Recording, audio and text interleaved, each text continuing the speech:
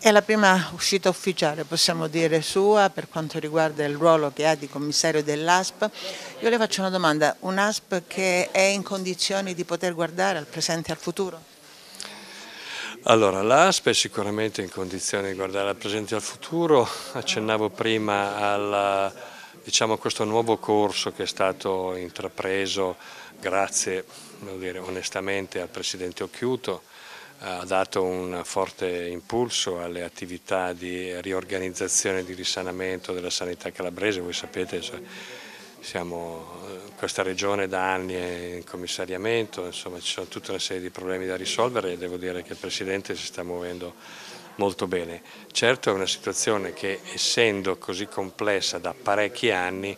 eh, necessita di eh, pazienza ma soprattutto di collaborazione da parte dei cittadini,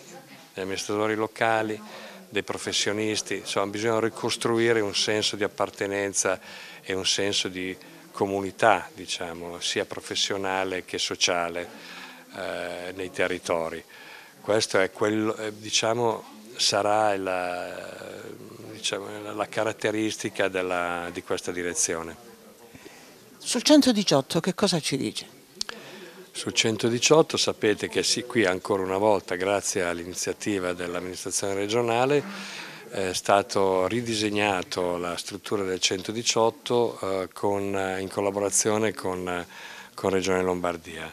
Regione Lombardia ha una particolare organizzazione del 118 molto evoluta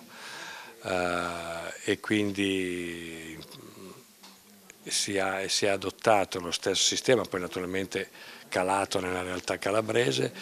noi dovremmo qui la provincia di Crotone dovrebbe partire nella seconda metà di febbraio, compatibilmente con la tempistica.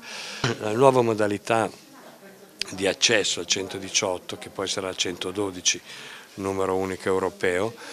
è una modalità che eh, probabilmente risentirà anche di come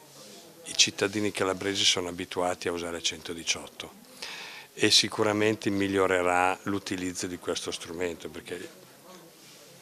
diciamo, l'accesso ai, ai, servizi di emergenza urgenza è un accesso che deve essere non solo pronto no, e rispondente ma deve essere anche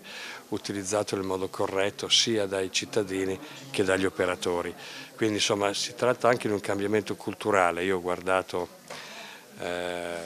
come è stato usato negli anni il servizio 118 in questa provincia e devo dire che ci sono spazi di miglioramento. Sono confidente nel senso che il sistema verrà centralizzato, quindi anche se il cittadino non se ne accorgerà neanche, eh, ehm, e per le modalità diciamo, di funzionamento dovremmo avere un servizio di 118 più, rispondente e anche diciamo, più efficiente.